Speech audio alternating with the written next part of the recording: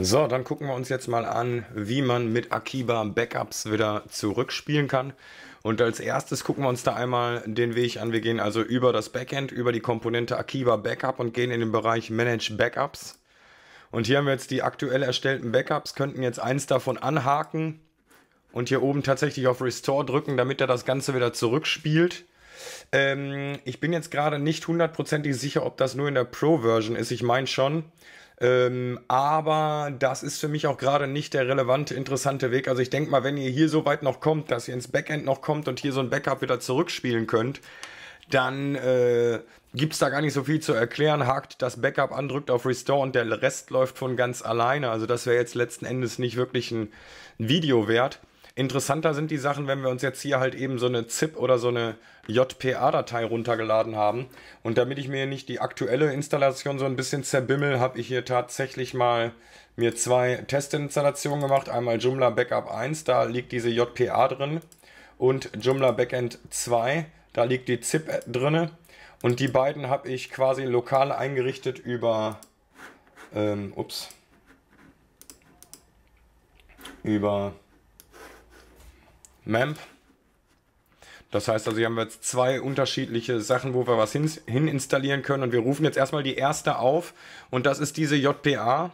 Und das funktioniert halt tatsächlich nur, wenn wir dazu passend eben auch diese Kickstart-Datei herunterladen, von der ich in dem vor, ähm, davorigen Video gesprochen habe. Das, äh, die kriegt ihr hier auch auf der Akiva-Seite. Akiva.com. Wenn wir dann jetzt da quasi nochmal auf Download gehen, Und äh, wir gucken jetzt hier mal Akiba Backup, so Core. Und dann haben wir hier schon für Joomla, ach das ist für Joomla 3, wir wollen für Joomla 4 und hier unten drunter gibt es dann den Link Akiba Kickstart. Das laden wir uns einmal runter, die Pro-Version in dem Fall. So und ich gehe jetzt auch einfach hin, ziehe das mal eben einfach hier tatsächlich, wir befinden uns auf dem Mac, ups. Dann machen wir es über das andere Fenster, so ich ziehe das mal eben einfach rüber in das entsprechende Verzeichnis auf dem Mac. So, im Windows sollte das relativ ähnlich oder analog dazu funktionieren, also kein großes Hexenwerk. Ihr seht, jetzt haben wir da diese Kickstart-ZIP-Datei, die entpacken wir mal eben. Drücken da drauf. So, und das, was für uns relevant sind, sind ja tatsächlich eigentlich nur diese beiden Dateien. Diese Sprachdatei, die uns so ein bisschen durch den Installationsvorgang führt. Da gibt es anscheinend gerade noch keine Deutsch oder was, ich weiß es nicht. Und diese Kickstart PHP, die beiden brauchen wir und die ziehen wir jetzt quasi ins Root-Verzeichnis, also auf dieselbe Ebene, wo derzeit schon unser, ähm, unsere Joomla-Installation liegt und auch hier diese Index-PHP. Das ist übrigens eine Sache, die kam, glaube ich, durch das Einrichten von dem MEMP mit dazu. Genau, die brauchen wir nicht, die kann eigentlich weg, die ist überflüssig, die fliegt später sowieso weg. So, und jetzt haben wir hier also drin einmal diese Kickstart-INI. Wir haben diese Kickstart, ah, diese Kickstart-INI, diese Kickstart-PHP und auf demselben Level diese JPA-Datei. Also wir gehen jetzt einfach mal davon aus, das wäre jetzt vergleichbar mit eurem Verzeichnis auf dem Server, also wo ihr das jetzt irgendwo liegen habt. Wir gehen jetzt einfach mal davon aus, bei mir ist das jetzt einfach erstmal eine lokale Installation, um tatsächlich lokal das Wiederherstellen eines Backups zu testen. Und aufrufen kann ich das Ganze lokal, indem ich die URL aufrufe J4 Backup Test. Ach, Backup 1 ist das, glaube ich. Und dann muss ich noch die Kickstart PHP aufrufen. Und wenn ich jetzt Enter drücke, oh, Insecure Backup Detected, äh, äh Secure Setup Detected Ah, okay, alles klar. Das heißt, wir wollen, sollen jetzt also hier das äh, umbenennen, weil das ein aus Sicherheitsdinger ist. Dann nennen wir das jetzt mal Backup. Backup Restore.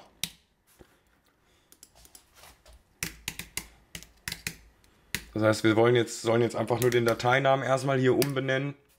Alles klar, das haben wir gemacht und jetzt landen wir tatsächlich in diesem Installation Wizard, der uns von äh, Akiba gegeben wird. Also ihr könnt euch das hier durchlesen, müsst ihr aber nicht. Wir klicken das in diesem Fall jetzt weg. Das sind so ein paar Hinweise und Warnings, die werden, ihr kennt das, die werden erst dann interessant, wenn es irgendwann nicht läuft.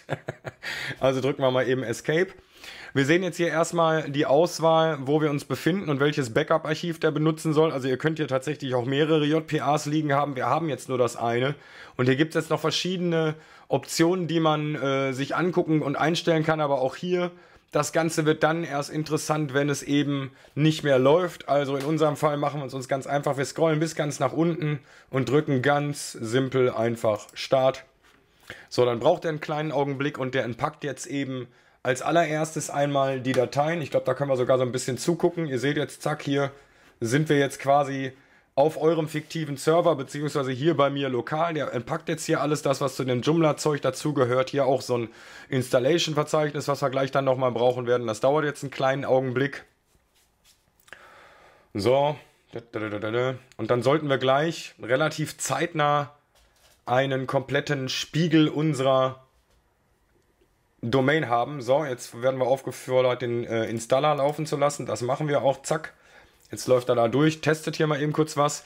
Hier ist teilweise ganz interessant, hier können wir mal kurz gucken. Äh, zwischendurch äh, weist euch das eventuell beim Wiederherstellen schon mal auf potenzielle Fehler hin. Das kann zum Beispiel dann mal passieren oder relevant sein, wenn ihr tatsächlich lokal entwickelt habt und Akiba jetzt nutzt, um eure entwickelte Seite auf, die, auf den Server beim Kunden zu spielen, dann kann es Sinn machen, hier mal nachzugucken und in Absprache gegebenenfalls mit eurem Hosting-Anbieter die entsprechenden Settings herzustellen, sodass hier alles grün wird.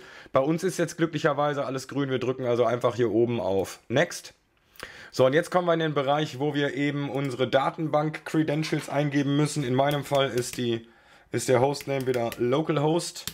Der Username ist in diesem Fall root, weil ich bin jetzt lokal. Das Passwort habe ich da auch lokal mal eben einfach ganz simpel root gemacht. Da sollte da nichts ändern. Und die Datenbank heißt also ganz schlicht J4 Backup 1. Jetzt gehen wir weiter. Jawohl, Datenbank wurde erfolgreich wiederhergestellt. Zack, jetzt gehen wir zum nächsten Step. Da können wir jetzt theoretisch gesehen nochmal, wenn wir grundsätzliche Daten von der ähm, Seitenkonfiguration hier nochmal ändern wollen, könnten wir jetzt hier nochmal was ändern, vielleicht nochmal einen anderen Site-Parameter. Wir könnten hier gegebenenfalls einen anderen Super-User eintragen. Üblicherweise wollen wir ja aber eigentlich sehr wahrscheinlich entweder unsere Seite retten oder einen Klon einer Seite rüberspielen. Also ändern wir hier meistens nichts. Drücken also einmal auf Next. So, jetzt sind wir eigentlich fertig und jetzt sagt er uns, dass wir dieses Fenster hier schließen sollen und hier in dem nächsten Fenster jetzt den Aufräumen-Button drücken sollen. Dadurch verschwindet dann später hier dieses Installation-Verzeichnis. Wenn wir das jetzt nicht löschen, landen wir quasi immer in so einer Endlosschleife von dieser Installation. Wir drücken jetzt also einmal hier auf Cleanup. Jawohl, jetzt hat er alles äh, runtergeschmissen. Und jetzt drücken wir einmal Visit Your Sites Frontend. Und sollten jetzt eigentlich sehen, jawohl, alles klar, wir haben unsere Seite zurückgespielt mit all den Inhalten, die wir hier hatten. Und wir haben das Ganze jetzt hier eben auf einer lokalen Testinstallation. Wunderbar, hat alles geklappt. So, das wäre quasi das erste Mal zurückspielen, jetzt mit einer JPA-Datei. Und jetzt gucken wir uns den ganzen Spaß nochmal eben an mit einer ZIP-Datei. Also ich habe ja, wie gesagt, gerade auch nochmal ein Backup mit einer ZIP-Datei gemacht. Und in dem Fall, wenn wir so eine ZIP-Datei haben, ich glaube, wenn mich jetzt nicht alles täuscht, brauchen wir tatsächlich die äh, Kickstart-Klamotte noch nicht mal. Wir drücken jetzt einfach hier drauf auf dem Mac, also Doppelklick um das Ganze mal hier eben schnell zu entpacken. Oh, der Pfiffer ist, glaube ich, ein bisschen kontraproduktiv, egal. So, jetzt gehen wir einmal hin und sorgen erstmal dafür, weil der hat jetzt beim Entpacken hier auf dem Mac direkt erstmal so einen Ordner erzeugt. Also ich sorge jetzt erstmal dafür, das Ganze soll jetzt in dem Root-Verzeichnis quasi liegen. Und jetzt lösche ich dieses entstandene Verzeichnis und ich glaube, ich lösche jetzt auch direkt mal die ZIP-Datei. Und ihr seht, hier ist schon so ein Installation-Verzeichnis drin. Das heißt also, ich gehe davon aus, dass wir jetzt beim zweiten Backup eigentlich die Kickstart-Datei noch nicht mal brauchen. Wir gehen jetzt einfach mal hier oben hin und ändern das hier um in Backup 2. Test. Drücken einmal Enter. Oh, alles klar. Das will er nicht. Dann machen wir mal eben so. Okay, das heißt also, hier müssen wir anscheinend jetzt erstmal nur Installation hinterhängen, wenn wir die äh, ZIP da entpackt haben. Das heißt also, die, die ähm, Kickstart-Datei braucht dabei so einer JPA-Datei vor allem dafür, um das Ganze zu entpacken.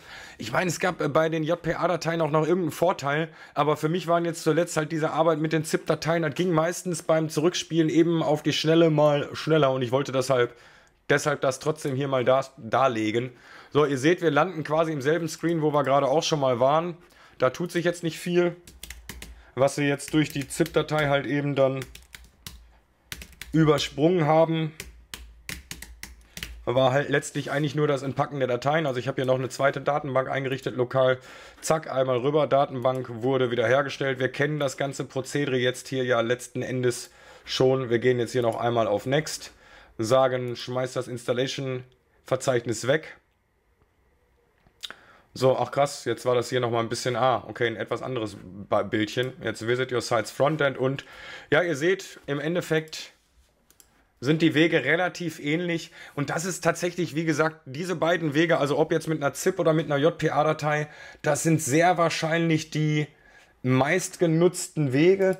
Z tatsächlich ist das mit so einer ZIP-Datei ähm, äh, nur dann auch wirklich praktikabel, wenn ihr irgendwie die ZIP-Datei komplett als ZIP hochladen könnt und auf eurem Server irgendwie mit so einer anderen Datei entpacken könnt. Ansonsten sind wir wieder an derselben Stelle, dass ihr sonst erstmal wieder die ZIP bei euch lokal entpacken würdet und dann alles hochladen würdet.